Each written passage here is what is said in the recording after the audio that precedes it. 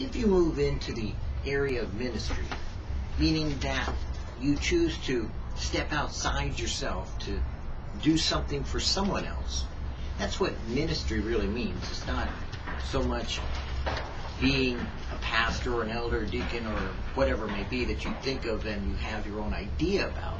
But when you move into ministry, you actually step outside of yourself. You're not seeking to take care of yourself, provide for yourself, get something for yourself, but that you're willing to turn your life inside out to give to someone else that which which you have received.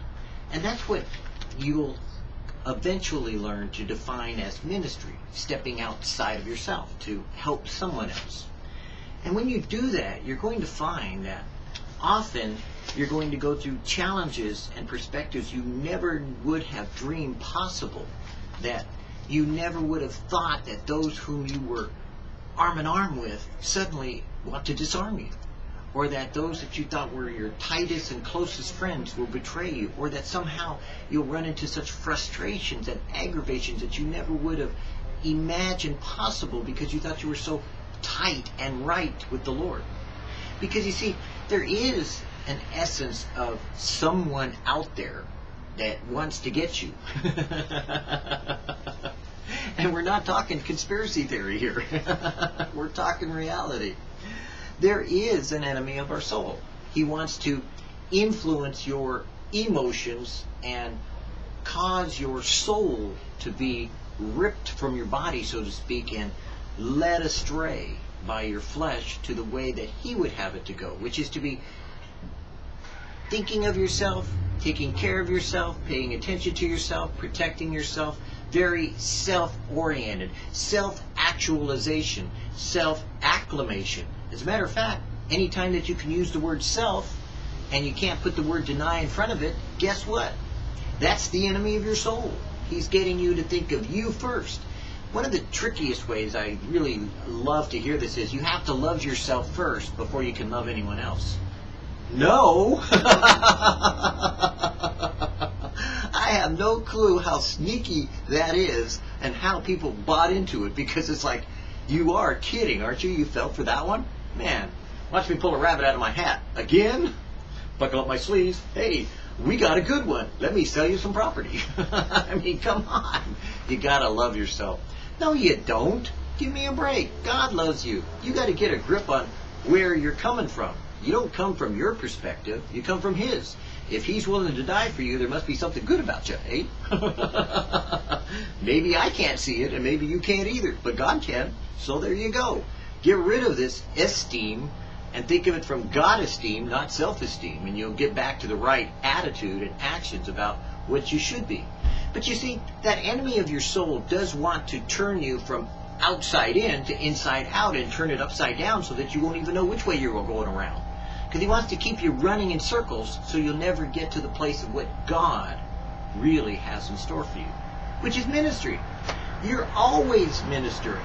You know that. Come on. The moment you wake up, you influence everyone around you. God help some of us. Because you're not exactly the best person in the morning, are you? some of you. Oh, boy. But some of us, you know, we actually wake up joyful. Woo! Imagine that. That's a unique experience. My wife can't stand it. she hates it when I wake up. Would you please go somewhere until I've woken up three hours later, you know? Like, you know, she gets up and then three hours later she's like into being woke up. You know, kind of like wide awake by then. Coffee, you know, hair in place, you know, and makeup on and, you know, feeling like, yeah, you know, a human being again. Okay. I wake up, I'm like, yeah, let's go play. I'm all over it. but we all have different gifts and abilities. We all have different perspectives. We influence everyone around us in some way, in some particular way. It may be for good. Hey, that's cool. It may be for bad. Well, that's not so good. It may be in some way you don't see by way of some of the unseen things of the kingdom, whether prayer or whether through just attitudes. You know as well as I do that if you walked into a room with a bad attitude, somebody in that room is going to go, ooh, what's up with him? And they won't even know, or what's up with her. And it won't be because you're all stiff, you know, and looking like you've got a bad attitude. No, it'll be just that you can feel the vibes coming off you, you know. And so there's something more to the unseen than what we realize. or maybe the Word of God has already declared that it is true. Much of what we can't see influences of what we can see. I mean, one of the biggest examples of that is just an atom. The atom obviously influences everything we can see because without an atom, you wouldn't be here. Poof, you're gone. no atom, nobody. you're gone. But the reality of knowing these things means that we have a challenge to face every day. If you step into ministry, you're going to be challenged every day. Not just by your routines, because sometimes there's physical challenges, sometimes there's an emotional challenge, sometimes there's time challenges, sometimes there's constraints, there's leadings, there's things that God is trying to teach you in a different way, to look at from a different perspective. But there's also the reality of knowing there is an enemy of your soul. There is there is a influencer, a liar, a thief, a robber who's coming after you. And he's called, you know, Lucifer in one occasion, and he can appear as Lucifer. He's known as, you know, Satan in another occasion, and he can appear as Satan. But he can come as an angel of light. He could come as a messenger of good news, supposedly, you know, except for just a little bit off. And that's kind of what he did with Jesus, you know, when he was tempting him, you know, of the devil, you know, to be when he was in the wilderness. Jesus already saw it coming because he knew ahead of time what was going to happen, but he also had to prepare himself according to the scriptures. And that's what you need to do if you're going to be in ministry. You need to prepare yourself to be attacked. Really, seriously.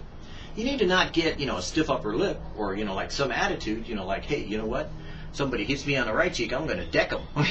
no, you need to expect you're going to get stabbed in the back, in the foot, in the head, in the eye, in the ear, in the mouth, in the nose. Matter of fact, you're going to get attacked from every direction you can possibly imagine. And if it isn't from your friends, it'll be from your enemies. If it isn't from your enemies, it'll be from your family. If it isn't from your family, it'll be from your fellowship. If it isn't from your fellowship, it'll be from somewhere. But one way or another, you're going to get compressed, distressed, and the only way to get released from all of that really is to, in my opinion, I take it a little different than most people. I take it with a sense of humor. Come on, get it, take it. Wipe me out. I don't care. If God's in the first place, it'll be God's in the end. What do you think I'm going to do? Defend it? God needs a defense? I don't think so. So you need to kind of get partially a sense of humor, but also a perspective that makes you look at it from a better point of view than just, oh my God, this is too hard for me. I don't want to do it. No, you need to look at it from God's point of view. God offered in heaven, all the angels in heaven, everyone standing around, you know, and he's going, hey, you know, the people are beginning to get way off track. Matter of fact, they're heading so far out into left field, I'm going to get rid of the field and I'm going to change it into something else. Hell, because we have to enlarge hell, so we're going to have to, you know, redevelop, you know, some of that plot land that we had out there, and it used to be left field, you know, and they've gotten so far out in the left field. Now we're just going to, you know, move the boundaries, and guess what? Hell's going to take up that left field, and we're going to put everybody out in right field if they could get over there. But guess what? We need to do something about those people that are out in left field because if they stay where they're at, they're going to wind up in hell. So who go? Who can we tell? Who can we warn them that we're redeveloping hell into a bigger place, and that we need to get them out of there because they're already headed there? And they need to move. They need to get out of the plot relocation and the boundary lines of where we placed hell at, because guess what?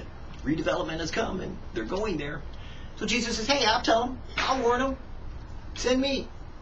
And he did. and you know the rest of the story. Well, guess what? Some people moved out of left field. Some people are still out there. Oh well, I think about the time when it comes to be consumed. It'll be consumed. Oh boy. I don't think you want to be in left field when left field turns into the wrong kind of field you want to be in. But the field that you were called to go into is ripe with harvest. It's out in right field, you know. They kind of redeveloped that into some farmland, you know, and they they made it kind of neat, you know. They put some furrows in it, you know, and it's kind of like long rows. It's got some corn growing, got some peas, you know. It's got all this kind of like neat stuff growing up, and all you need to do is go out and pick it. Now, I don't want you going out and picking fruit that isn't right. Now, you know, I know some of you get excited and you think that you got to pick a tree when it's still a vine, or you got to pick a vine when it's becoming a tree, or you need to do something weird. But if you learn in ministry to pick the fruit in its time, then let me tell you something about fruit. When it's picked, vine ripened, it's delicious. When it's picked early, it's going to grow. Not quite so sweet, not quite the same. But vine ripened, oh my God, how delicious it is that's what ministry is like. You gotta learn how to grow things, you know, not just beat them down, not just slap them around, not just stomp on them and romp on them because you're feeling bad that day and you think that, oh well, I'm gonna take it out on someone. No. You see, when you move into ministry, you really want people to move ahead of you and you want to prefer them above yourself. You want to learn to deny yourself and be a servant undergirding someone else's effort to help them to go closer to the Lord so they can become all they were meant to be. I do that with my garden all the time. I mean, if you look around, you see these plants? Man, these plants would not be growing because they were out in the field and they were getting ready to be mowed. So I snatched them out before they got mowed. I took them out of left field and I planted them into my right field, which actually happens to be over to my right, or on your camera angle, stage left, so to speak. But the point is, now I have them. Ah, I rescued them out of the field, and you see they got clay in there and they got dirt, you know. And yeah, I need to give them some better soil, you know, so they'll grow better. But hey, they're blooming. I transplanted them. I brought them into my garden so that they would grow. And that's kind of what ministry does. You want to transplant, you know, those things that maybe someone's got some little, you know, kind of weird things and weird ideas, but, you know, so what? You bring them into a place where they can grow and they'll grow up and fulfill that which God has destined them to be. And once you start to see the fruit, when you see tomatoes growing on that tomato plant, you'll know it's a tomato plant. When you see that, you know, like fruit tree, you know, it looks kind of orange, you know, and you bite into it, you know, after it's gotten all nice and bright and orange, you ain't going to call it a lemon. oh, well. But that's the point of why in ministry you choose to administer your ministry in the right time, the right place, and the right way. Because God wants you to be a ministry yourself. You yourself are a ministry. You always have been, you always will be. That's just the way it is. You influence everyone around you.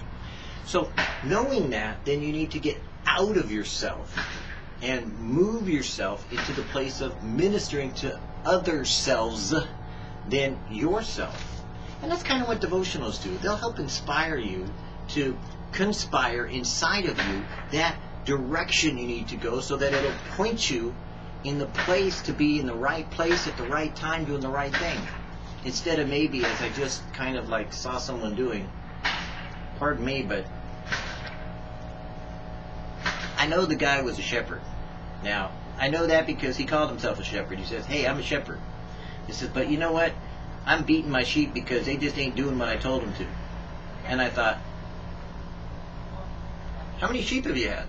And he said, well, you know, I, I, I got a few sheep. Know, I said, well, yeah, that's makes sense. You know, you got you got a few sheep. You know, so what are you doing with your sheep? Are you feeding them? Well, yeah, you know, they're I'm feeding them, but they they they're not multiplying. Well, what are you feeding them?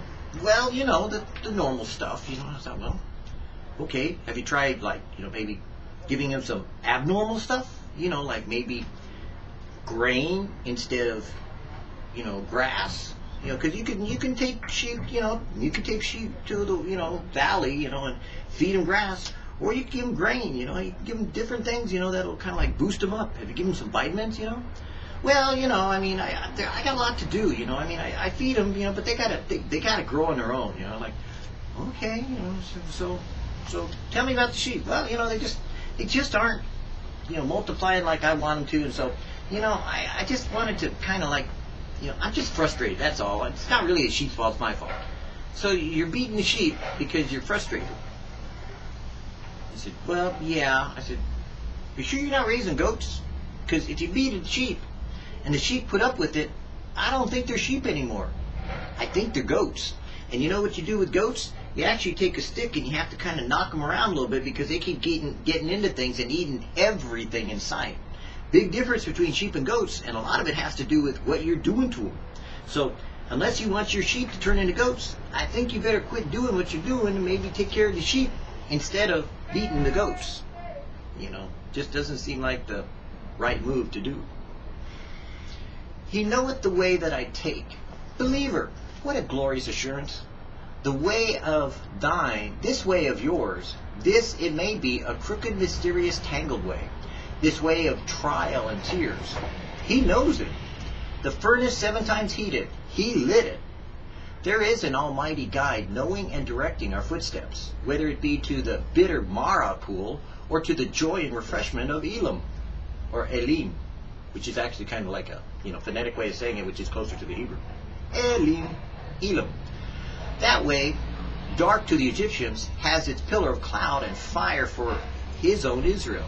The furnace is hot, but not only can we trust the hand that kindles it, but we have the assurance that the fires are lighted not to consume, but to refine. And that when the refining process is completed, no sooner and no later, he brings his people forth as gold. Fire up that furnace seven times hotter. Go ahead, see if I care. Ha ha! I'm with the Lord. When they think him last near, he is often nearest. When my spirit was overwhelmed, then thou knewest my path. Do we know of one brighter than the brightest radiance of the visible sun, visiting our chamber with his first waking beam of the morning, an eye of infinite tenderness and compassion, following us throughout the day, knowing the way that we take, and the way we are, and the way we should move, and the way we grew, and the way we do what we do when we do what we do, which is most of the time doo-doo? Faggot! The world in its cold vocabulary in the hour of adversity speaks of providence, the will of providence, the strokes of providence. Providence, what is that? Why dethrone a living, directing God from a sovereignty of his own earth? Why substitute an inanimate, death-like abstract in place of his acting, controlling, and personal decision for your life, knowing every hair on your head is counted and every direction of every action of every circumstance is held by him doing it with you, to you, around you, and through you. So, quite frankly, what are you learning from it? He did it. You mean the devil did it isn't a good idea, but God did it is a good idea? Could be. You may want to think that one through.